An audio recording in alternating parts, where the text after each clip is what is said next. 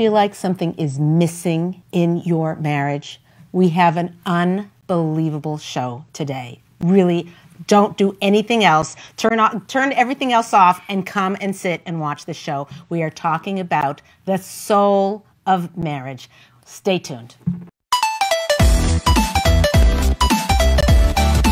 It's Leah Richeimer, the host of the Ladies Talk Show. Thank you for being here. We have an unbelievable show. The show is called The Soul of Marriage. And we're here with a very, very special lady from Yerushalayim, from Jerusalem.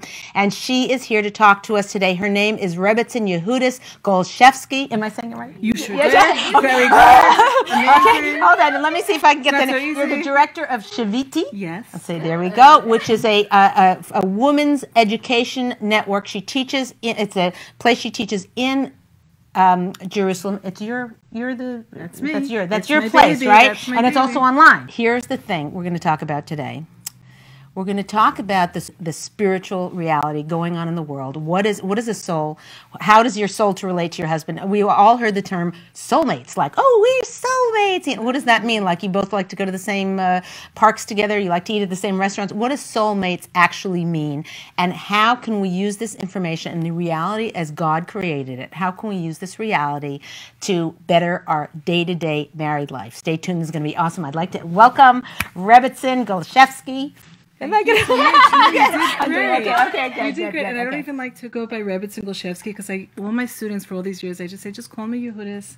We're friends. Oh, we're so learning sweet. together. Okay, we're growing together. You know, we don't. I don't like the distance aspect of that. You know, the title. So right. I'm so happy to be here. Thank you for inviting me. Thank you, Yehudis. Very Okay. nice. So I just Does that um, sound? Yehudis works. That's that's the easiest okay, one. good. Okay.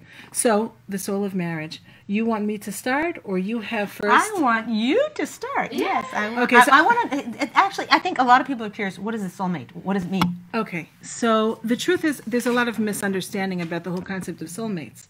You know, I'll tell you a story. It's a, actually it's like about 500 years old. This story.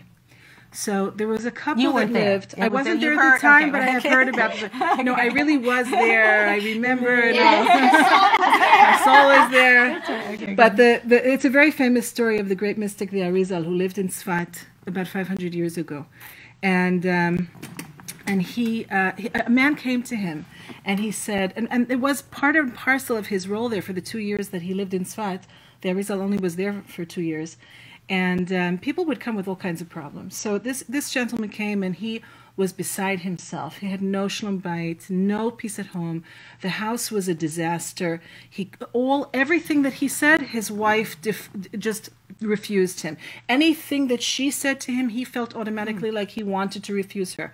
And so they had an unending conflict, which was not resolvable. He went to the Arizal and he wanted to know, not just, I mean, here we're talking about the soul of marriage. We're not talking about about techniques. We're not talking about, um, you know, um, various approaches. We're talking about getting to the essence.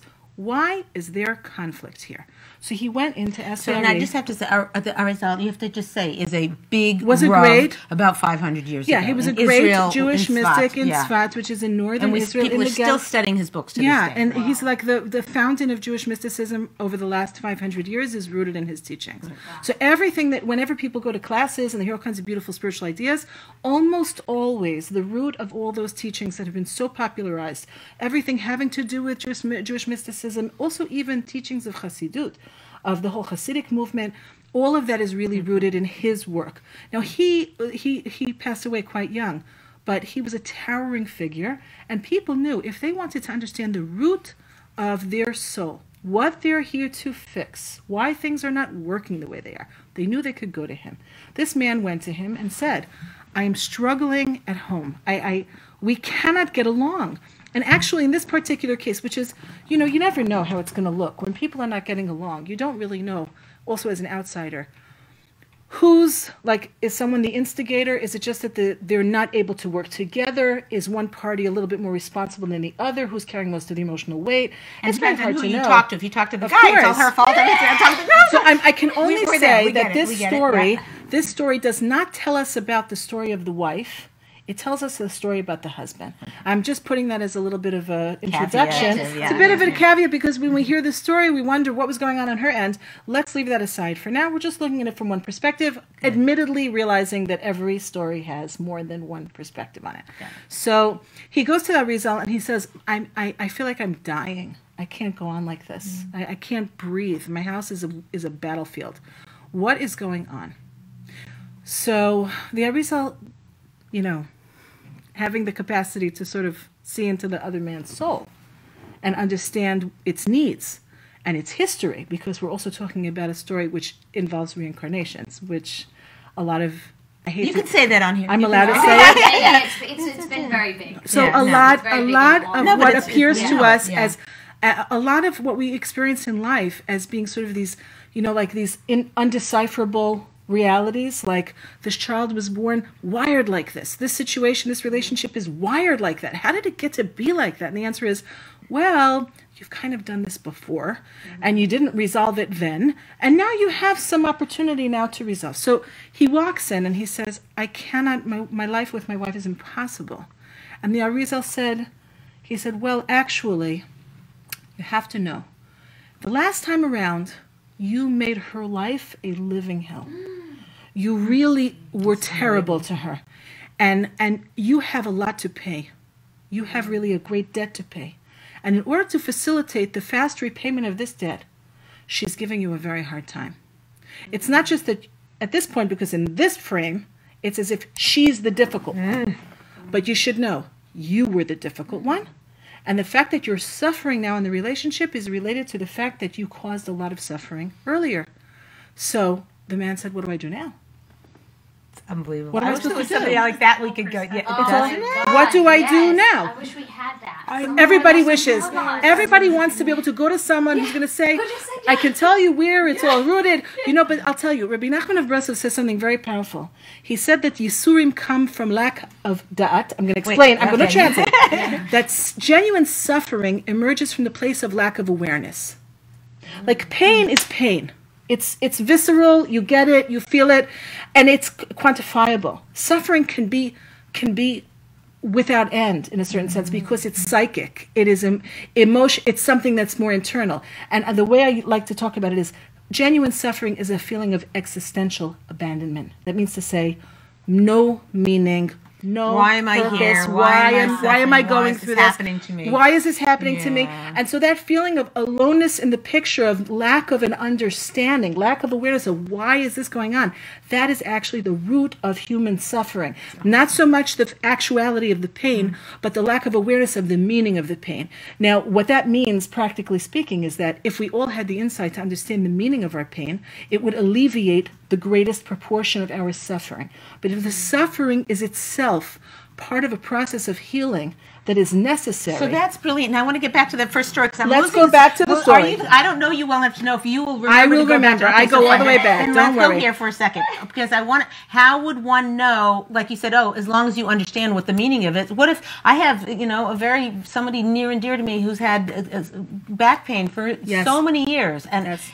you know she's unbelievable. Like she, you know, um, her whole attitude about life, and she's always when she's good, she's like out there doing stuff for other people. a- Amazing human being, but like why? You know, Uh, okay, why? so Yeah. I'll give you. Okay. Okay. we took a jump out. Okay. and then we'll go back. Okay. let's. Everybody's gonna hold the thread. Yeah, everyone got hold the thread. Okay, They're live, by the way. Hi, just everyone's gonna keep with the thread. So we were talking about a story about a difficult marriage. But we're talk to this stepping camera because this one, this that go, disappears after 24 No hours. problem. This is the one that gets. so that so that we're following the thread, and I'm going to go back now. I'll, I'll tell you a story about pain, chronic pain.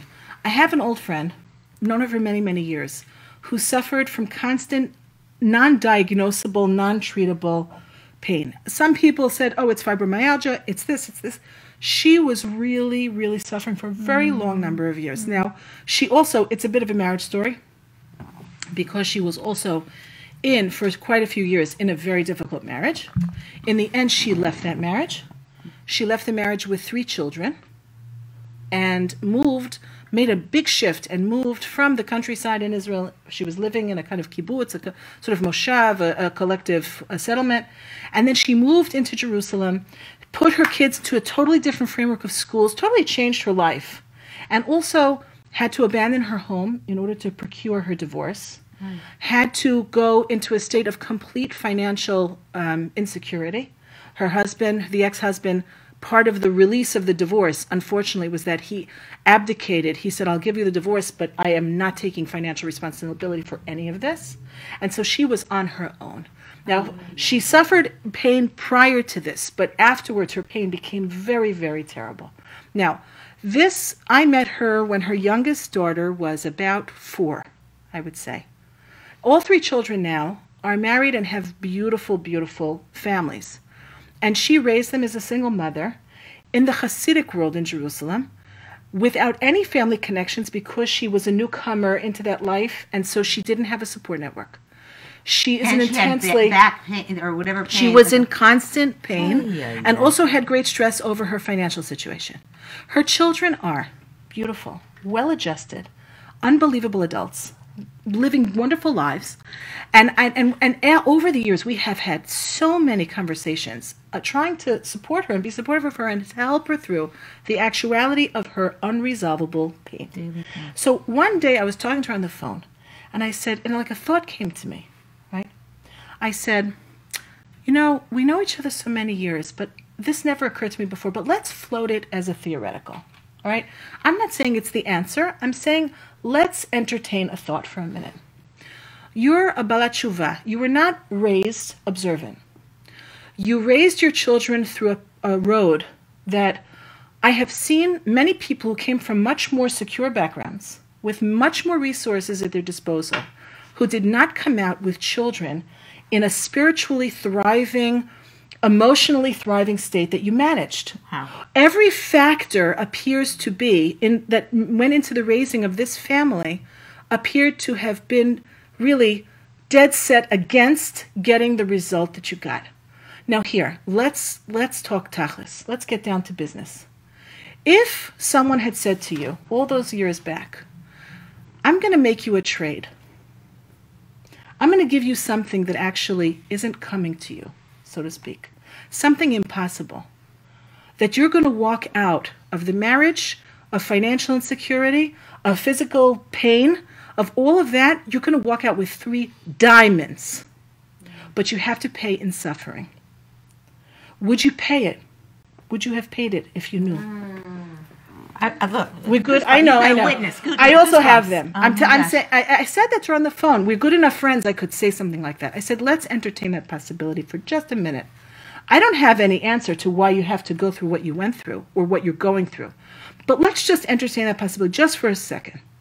If you could do it all over again, but knowingly, I'm trading away my own body, its health, its pain free state, its proper functioning, in order to come out of this story of my life with these diamonds. If you had to make that trade, would you do it? And she said, in a heartbeat. Mm. In a heartbeat. And I said, said chills. She's chills. I said, in a heartbeat. She said, in a heartbeat. And I said, okay. Now, I don't have Ruach HaKodesh. I don't have any kind of divine inspiration or prophecy. But I have to tell you something. I would assume that something similar actually took place. Because it doesn't make sense that you came out with these three. It doesn't make sense. That you succeeded in what is basically the most important endeavor of your life. My arguably. friend, my friend has three kids. I'm telling her this. I'm actually going to have her watch the show. By the way, uh, this and they woman, are diamonds. after having married off the three children and gone through another marriage, failed, another failed marriage, she finally met someone who is actually a perfect, wonderful partner, and she no longer suffers her pain. Wow. And that was not because of medical interventions.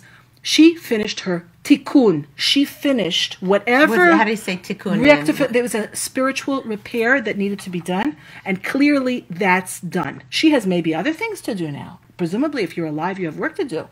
But that bit. So it's like, oh, okay, everyone's with me? Okay, Okay, now let's, let's go, go back. back. 500, let's, 500 years in the past. We go back to the Arizal, and he says to this man, last time around, you were the bad guy. This time around, you have to pay the debt. So she's giving you a an, an objectively, she's running you a very objectively difficult life. So the man said, What am I supposed to do with this? So he said, "You go home." And wait, he accepted it? Like, if someone Yes. told me that, I would say to Arizal, like, come on, she's the one who said this. She's the one who did that. No. Da, da, I think it comes from the Arizal. Yeah, maybe. I think what okay, happens- Okay, We don't okay, even all right. understand that. Okay, And that's yeah, why I said yeah. we would like to have such people. We would love to have such people access to them. So he and why took do it. He people took it. why do people run to why do people run to mystics and to you know uh, this kabbalists and this and that because they're looking for that kind of an answer. But he was somebody who you knew he was telling the truth. So very rarely do you find someone whose voice, the voice coming out of them, is so clearly the voice of Hashem, the voice of God, that that it was just undeniable to him. So he said, "What do I do?" The Arizal told him. He said, "Go home, make no waves. Anything that she does that's difficult for you, you accept. Accept it and know in your mind she is repairing your soul. And as she repairs your soul, you're thankful to her. Now, again, this is a difficult story because we look at the situation from the outside and she was abusive to him. Okay? And so I don't want people to walk away saying if somebody is in an abusive relationship, then God forbid they just, just write it out. She's my ticket. That's a different. Okay, I, I, I want to be careful. I'm telling the story. It's a powerful and important story. You have to be careful with the use of the story. Very good, very okay, good. so so So how do you be he careful went with the home. use of this I'm going to Okay, tell you okay, how it resolves. So No, he yeah, goes. no, but I also want to know how they can be careful. Uh, okay, so we go home. He goes home, and she's still giving him a hard time, and he says, "Yes, dear. Yes, dear. Whatever you say, like, dear." What did you do with my house? Okay, so she, exactly, she's very, very confused because in order to have, in order for conflict to really remain conflict, you need two conflicting parties. When one person stops being involved in conflict, it destabilizes the relationship. Things change. Sometimes they get very weird. Sometimes the other person sort of gets the picture and starts to come along. Be, but that destabilization happens when you have a certain kind of structure or mechanism where both eh, parts of the mechanism are used to working in a certain way when one It's kind of a moves habit. out. We talk about that a lot. when one part of that equation pulls out the other party doesn't quite know where their footing is and that can be a big adjustment. So he's saying yes dear. Yes dear. He's obviously okay with it and she's getting confused. So she's suspicious. Like he's like he's being like maybe he's being facetious like maybe he's teasing me like maybe he's he's, got- he's got yeah he's manipulating me. He's- it's a setup. yeah, It's a setup. Yeah. So then she doesn't quite believe it, but it keeps on going on, and he's really holding strong with it. And finally, finally, she says something is going on here, and she starts to wheedle him. You know, like you you went to the rav, you went to the rabbi. What did he say? Um, did he tell you something? And he is not saying anything because as he left the rabbi, if he, as he left the Arizal, the Arizal said, "It's your work to do. You don't get so." So finally, she pushes and pushes until finally he just unloads. And he said, I went to the rabbi and he told me that you are repairing my soul. And she said, Watch this. She said, I'm repairing your soul? You can forget it. If all of my difficulty with you is good for you, from now on, I'm only going to be very, very nice. so I'm only going to be really nice. And he's he doesn't know what to do with it. She's like, that's it. I'm not going to fight with you anymore. If because you understand, she's so full of resentment and anger mm. against him, which she can't even really necessarily even explain. Now, Bidafka, she doesn't want to heal his soul, so she's going to be nice. Mm. This goes on for a while. She just lets everything go. She doesn't fight with him. She doesn't argue with him. He says, Yes, dear. She says, Yes, dear. Everything feels great. Everything's fine. It's peaceful at home. Now the man goes back to the Arizal. Guess what? He, you can imagine what he says. Where's my tikkun? Where's my, like, That's now where am I left here? Is she's being so nice? And, and all of the friction, like, think about it like this this friction between these two souls banging against each other is like it's an act of polishing it's an act of refinement she's no longer conf- she's no longer in conflict with me how am i going to come to my soul repair she's not an obstacle anymore Like, in other words, now now it's the game game over. game Like, over I- so the Ariz- so the arizal said to him no that's fine you finished this you finished that repair now you can go home and live in peace you you've you did what you had to do it's okay now you go home now so the whole that story beautiful. Yay! we like the we like the happy Good, endings. good, we yeah, love the happy yeah, endings. yeah, yeah. But it's really there's like the whole perspective on. Uh, this is what we were doing this morning. We had a class this morning about this concept of all my relationships, everything in my life. I'm there really with God. God is speaking to me and educating me through my relationships with other people. And when and, and especially especially with marriage, because you know we had spoken about this like the great sage the Chafetz Chaim, Rav Yisrael Meir Kagan. He he said all relationships exist in kind of concentric circles. In, in, in until you get to the inner place, you know, you have all these people like you have, you know, people you see it like you see them in events. You know, they live down the the grocery store, grocery store, whatever. yeah, you know, at, mothers you see at PTA, like you don't really have anything to do with it, and then you have like a, a closer, more inner circle, and those are people you have a little bit more. You know, you've got neighbors and you've got you know friends, but not close friends, and so on. And you keep going closer and closer to the inside. Now, one of the paradoxes of life is that it's really easy to be in a great relationship with the people on the outer circles. It's very, it's increasingly more difficult to be in a great relationship with the people in the innermost circles, like your husband, Husband. your children, Hello. Yeah. your husband, your children, your parents, your Tell the story about the single woman who just got married or something. Oh. you know? Oh. yeah, yeah, yeah. Yeah. Wait, and I also don't want to miss. Wait, come to that. I, I don't. How do How they long avoid, are we doing this? How, how do they avoid the abuse? Oh Yeah, yeah. Yeah, so that's we have to be careful with stories like that. There are a lot of stories like that circulating. Right, right. And so we say, is this something first of all, it's interesting because the fact that it's the husband who's on the receiving end in that particular story is very instructive. One of the reasons why is because paradigmatics in relationships, like it's very, you know, times have changed. You know, the more things change, the more they stay the same sometimes.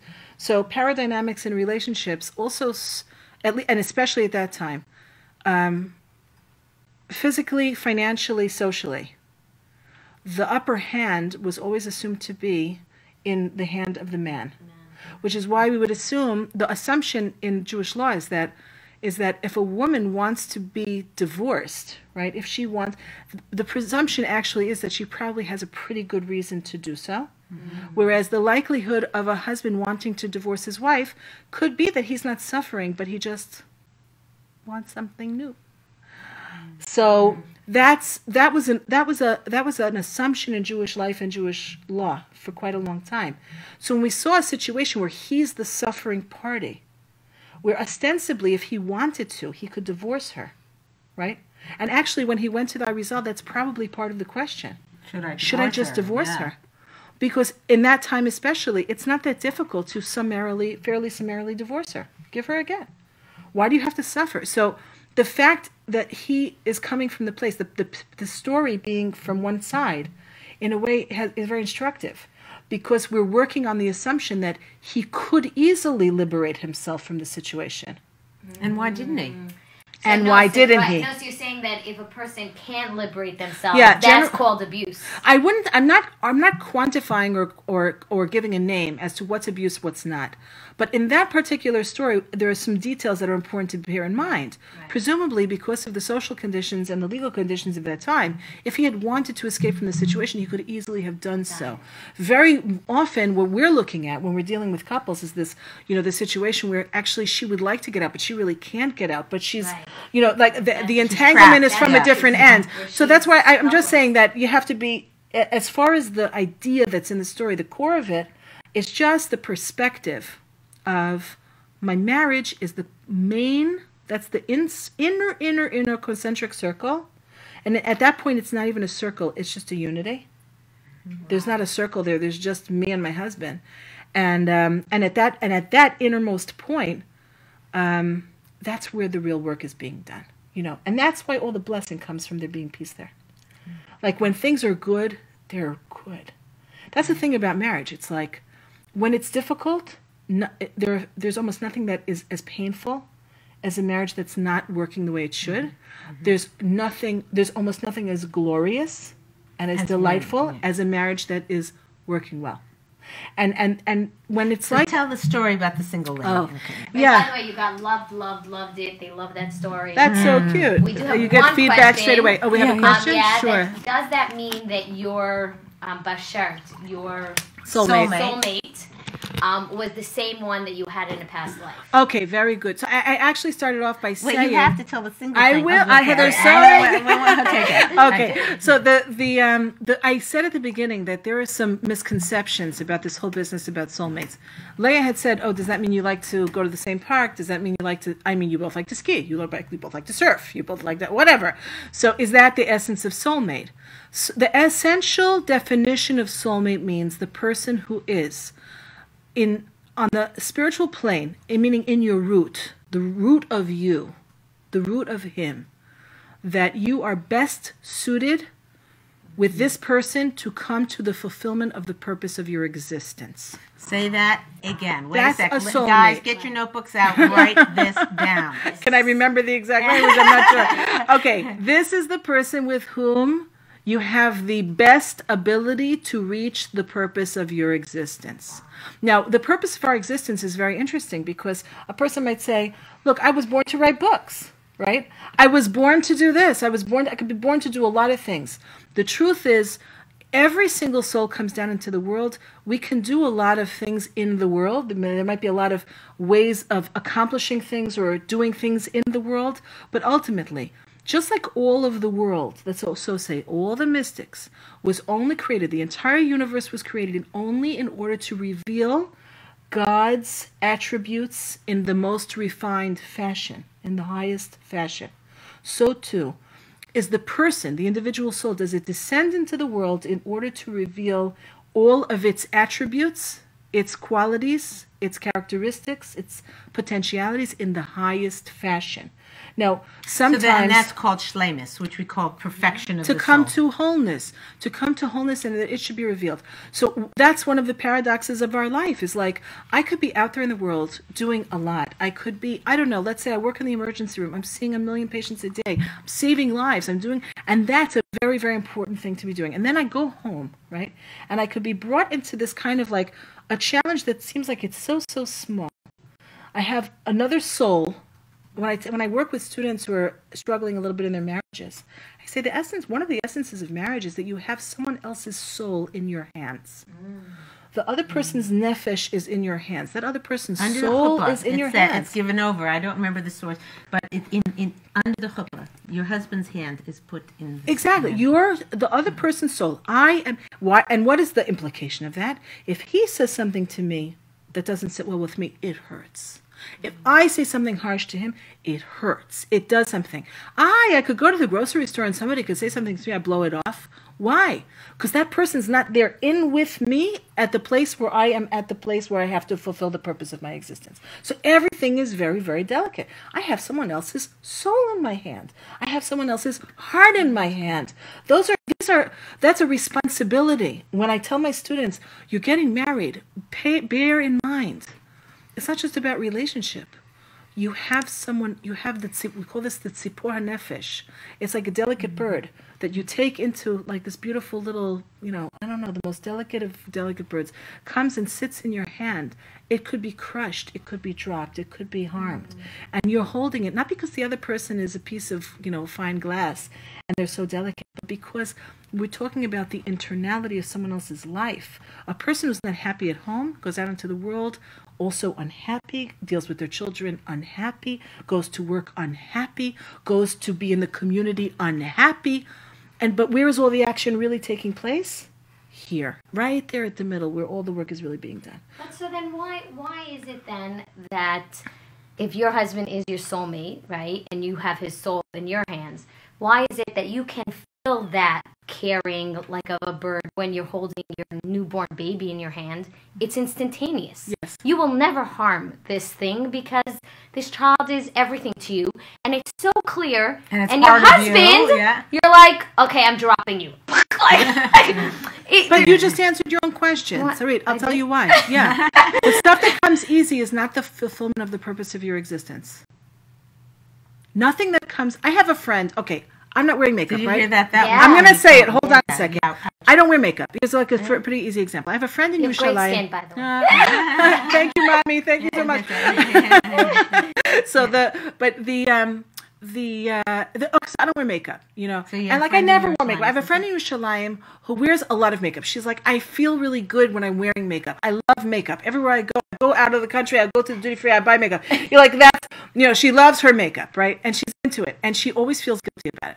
Why? Because she's read all of these different articles and things about how makeup, it's not modest, it's not this, it's not that. She's got a lot of guilty feelings about it. I sit there with her, I'm like, listen, sweetheart, there's nothing wrong with your makeup. Relax. It's fine. wear your makeup. Enjoy your makeup. She said, but you don't wear makeup. And I said, that's not for my part. That's not righteousness. That's not holiness. It's because I don't like makeup. I don't like it. I don't like how it feels. I don't feel myself in it. It's just not me. It's not me. So I said, for me, for very good. I said, you're looking at me as if you're me.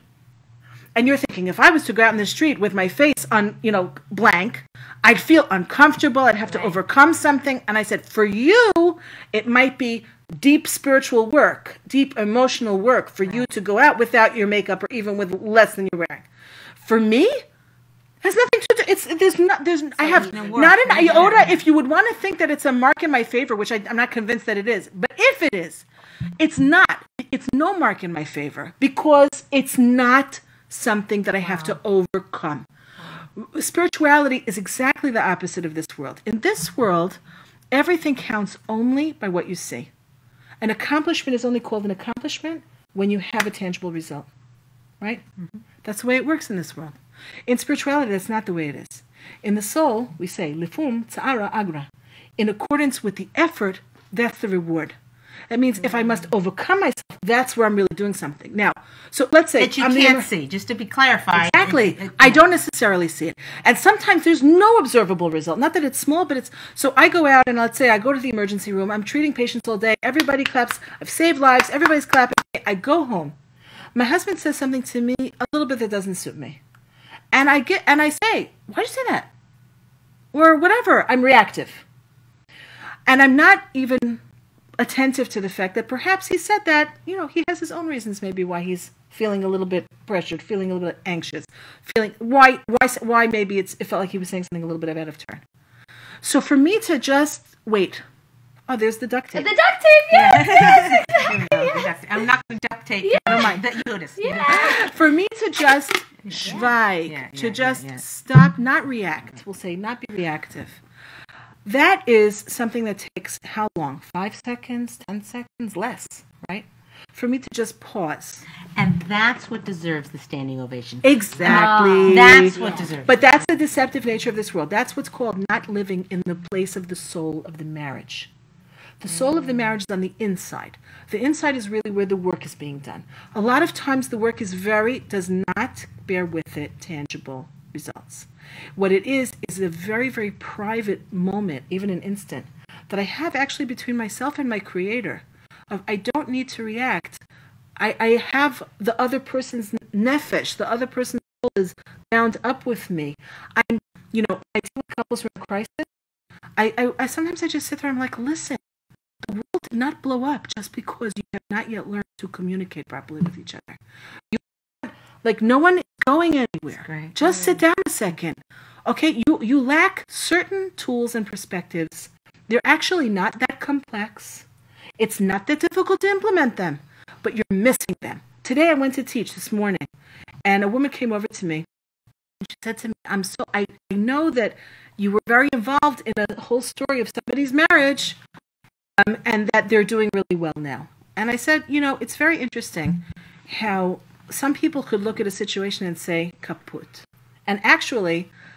I was so when when these people came to me already quite a long time ago, I said, "Who's been involved with you now?" Meaning, who have you gone to? And you've Well, been this third party, like a therapist or a yeah, rabbi. third party rabbi, yeah. whatever. Mm-hmm. They'd been through the gamut, like they'd been all over the place, and they really were on the verge of collapse, and they were about to get divorced. And I, I said, listen, the world hasn't blown up yet, right? Like, nothing's happened. Why yet. are we in such a rush to? Why, why are we? Okay, so let's Oh, just take a step back. see.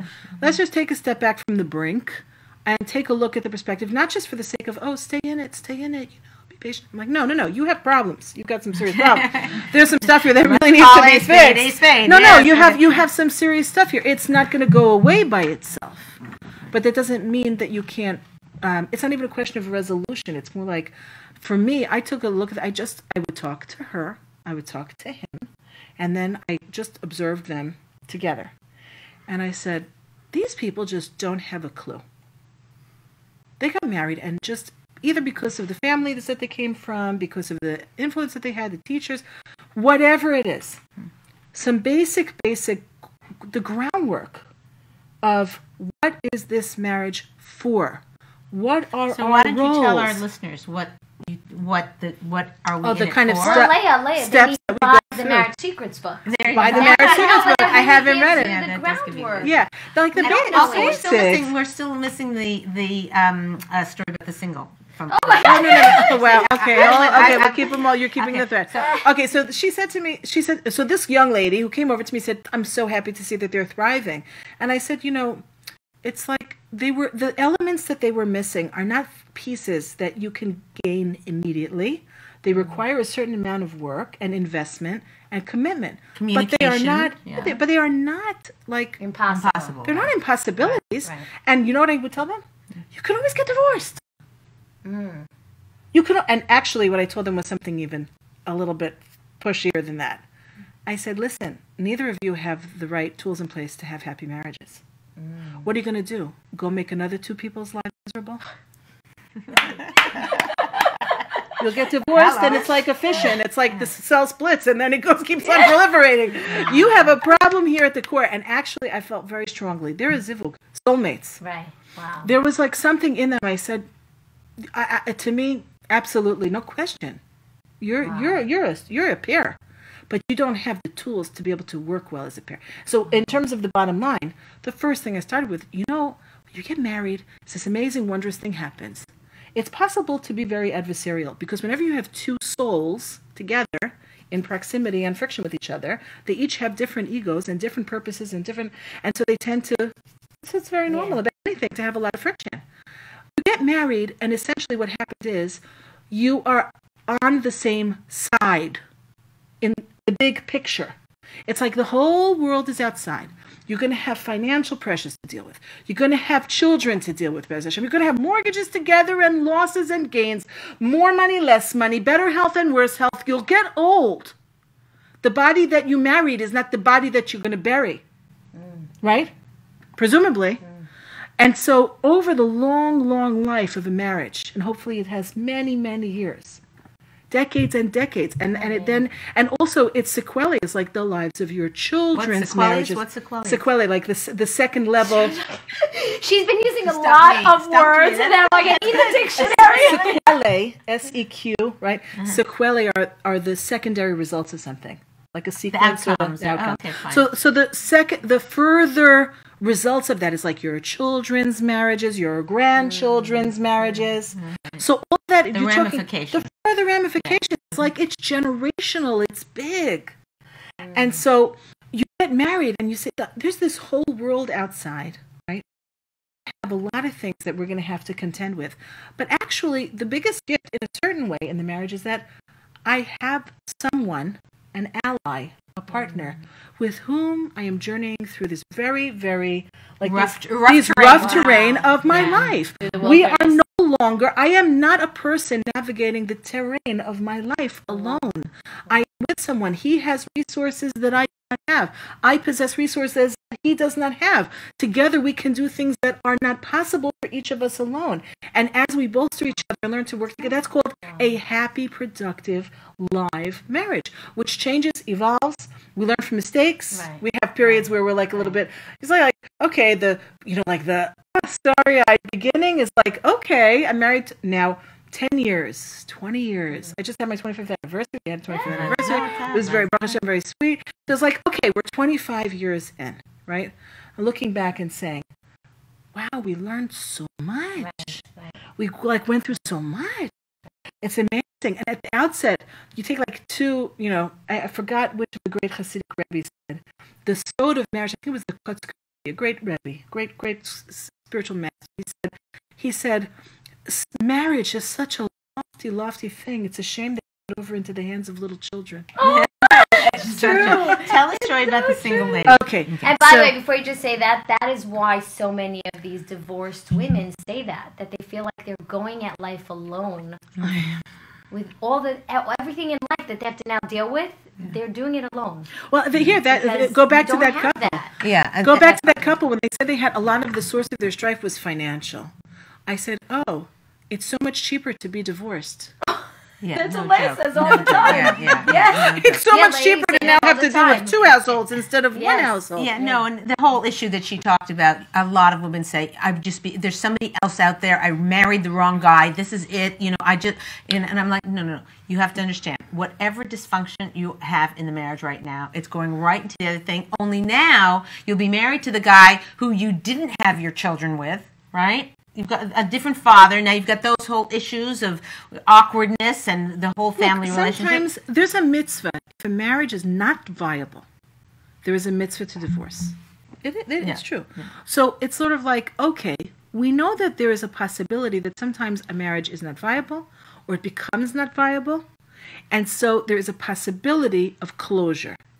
It's very interesting. But hold on a sec. Unless you have spent one solid year with a qualified third party, a yeah. therapist, a rebbetzin, a rabbi, a clergyman, somebody, and you have really given it your all. Oh, my husband doesn't want to come. I hear that. You go yourself. They will teach you how to get your husband in. Now, again, when you're going to get a third party, many times you have to try this person, eh, that person, eh, and then you get to the third person, and you're like, oh my gosh, where have you been all my life? They teach you how about self-esteem. They teach you about communication. They teach you about all the things that you need to know to make the marriage work. If you have done that for a solid year and it's still not working, then you can have that conversation. But before you've done that, it's kind of like you're throwing in the towel. You're you're you're talk about the financial disaster. Talk about now you've got two households, right? You've got two washing machines you have to buy or rent or whatever. You, the, the the the the implications for that. People always think the grass is the divorced grass is greener. We actually we even think of doing a show of marriage advice from divorced women. Like hello, There's a joke like right- this. like right, you know. Leah, there's a joke in in your Yerushalayim. We say a man. Uh, there was a husband and a wife. They couldn't get along. So after many years and many years of struggle and struggle, he finally said, "Okay, that's it. We're just going to divorce." They go to the Beit Din, they go to the court, and they he gives her the divorce. They leave the court together. They're not fighting. They just can't like it's not working. They they leave the court together, and then he looks at her as they step out, and he says, "You want to get married?" So she's like, "We just signed the papers, you know, like we're done." Hello. And he said, "For a first wife, you were terrible, but for a second wife, you're pretty good." okay, Ouch! I did not see that one coming.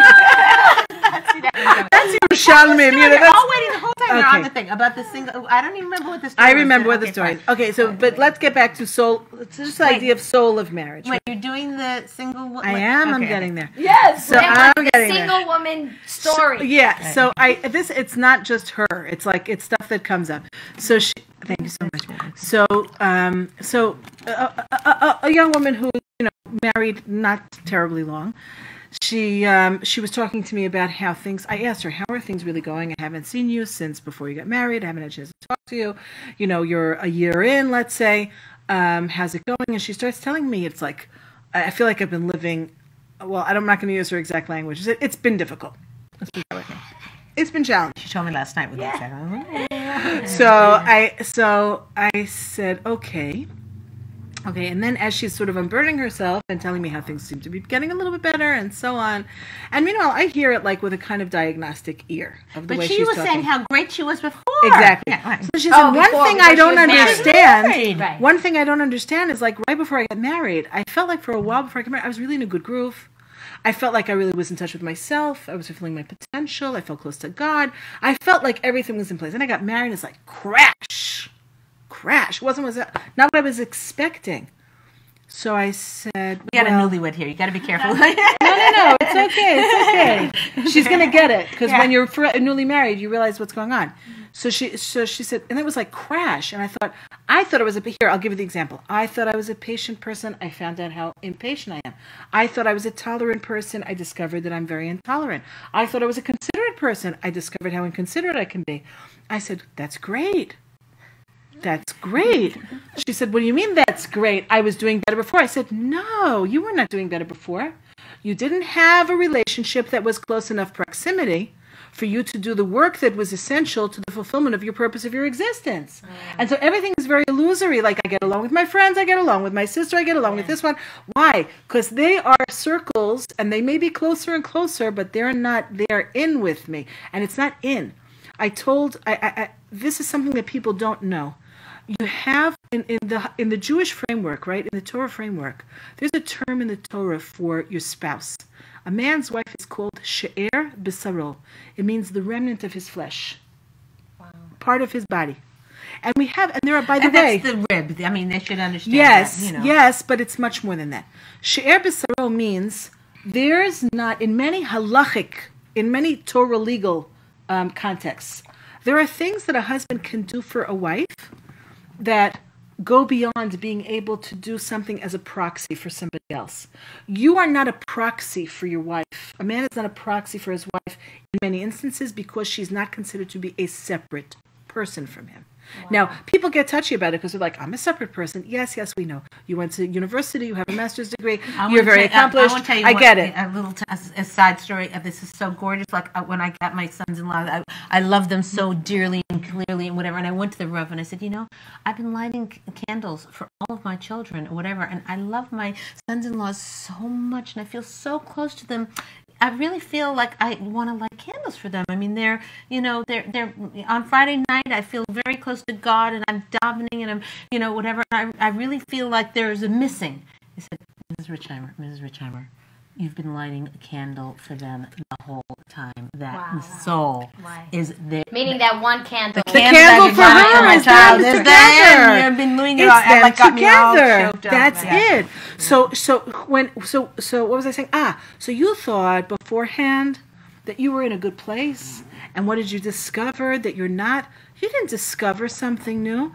Hashem, God is revealing to you the places where you need to do the work via the specific soul who has the capacity to catalyze you into the work that you need to What do. is catalyze? Okay. here- to spark you, to spark you, to motivate you. Hello. I, Into- I was, you know, yeah, right. okay. Catalyze.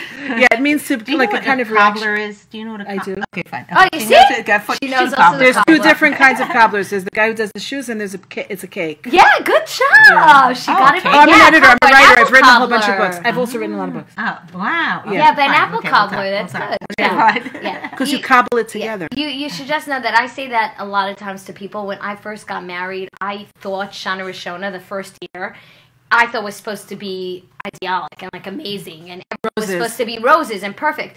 And I literally, I was all busy with my engagement, so I didn't have time to process anything. And then I get married, and literally the morning after, I turn over and I look at this person next to me, and I started crying. I'm talking about like a baby in hysterics. And he wakes up to a crying mess. and he literally said he thought like, does she have a mental illness I know about? Is there something I'm missing? Like, this isn't about he's like, Are you happy? And I couldn't even express to him that I'm looking at him saying, This is going to be life. It's worse than a prison sentence because at least there you get time off from good behavior. You maybe can like be out. Here you're stuck for like, and I had to suddenly come to terms with like, this is it. This is it. This is it. And is I my didn't guy. have, and I just felt like everyone thought, oh, it's just gonna be perfect, and nobody explained to me that here's another person. Yeah, yeah. it was a very hard. It's an adjustment. Yeah, I tell the new, wa- new uh, mothers also the same thing. I say, look, I'm saying, Oh, isn't this the happiest time in your life? You're like, oh my goodness, this is really going to be the happiest. I was, yeah. Eighty Bloomingdale said common fantasy with blast. Yes, Yes, the there common fantasy. Yeah. Well, also, I, rem- I was just talking to somebody in after we had the class.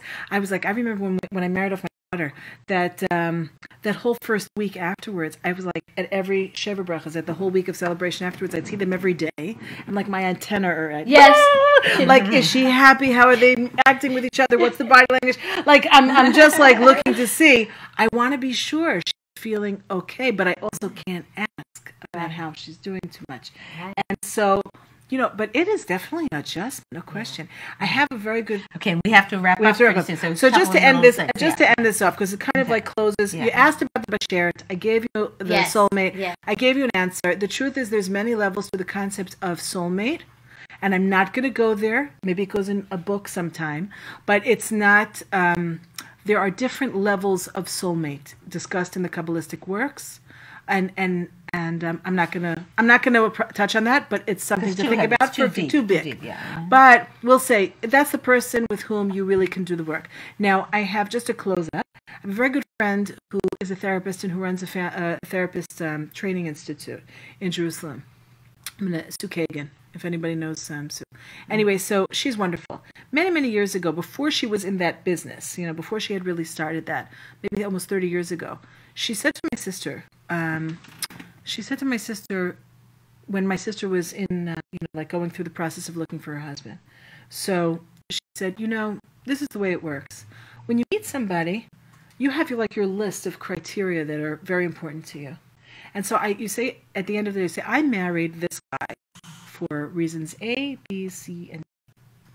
And all those reasons are actual, they're real, they're not illusions. Then you get married, and you're like, oh, I think actually I married him for reasons like W, X, Y, and Z. Meaning, God had a purpose for putting us together that was not obvious to me. Now, what's the relationship between your A, B, C, D, and your W, X, Y, and Z? Please tell us. They appear to be so far away from each other. She didn't elaborate on this, but it's something I've given a lot of thought to over the years. It's like this. If I didn't have really good, solid reasons for entering into the relationship, I would never go there. If I knew ahead of time the kind of process that I would have to go through of growth that is waiting for me together with this person, I might be intimidated and I might not do it. So what what does God do on the soul level? He gives me ample reasons, ample reasons to marry this person, and he presumably also has ample reasons to marry me. And then guess what? We go home and we wake up in the morning and and discover that day crying, but wake up in the morning that actually the actuality of, of life with the other mm-hmm. person, all that A, B, C, and D was not an illusion. It's there, but actually, oh, I am such an intolerant person. I am an impatient person, and my husband needs a lot of space and time to come to decisions. And I think mismatch, and the answer is uh-uh. match. Wow. Match. Why? He needs to take into consideration the fact that there are people who need to have things done at a certain pace. Like he's got to adjust to me. And I also must adjust to him. And, and in that place of the work of where I am needing to move and where he needs to move, the place where we start to meet, you know, where we come together in our adjustments, in our efforts, which show not necessarily so much external accomplishment. Mm-hmm. You know, you don't, necess- mm-hmm. but in internally, Internal the overcoming of self, mm-hmm. the transcendence of self, in order to create something larger than ourselves. That's called the soul of marriage. Wow. Got it? Yay, thank you AD, so AD much. actually said so resonates. Wow, growth at its core. Thank you Amazing. very much. Great. Growth This is its core. Leah Richeimer with our wonderful, wonderful Rebbetzin. Yes. Yehudis. Yehudis, Yehudis, it's Yes. good, fine. You guys are like Okay. soulmates. That's, that's, that's very good. Thank you so much for I told us. you it was going to be okay. we did great. Thanks a lot, everybody, for being here. We'll see you next time.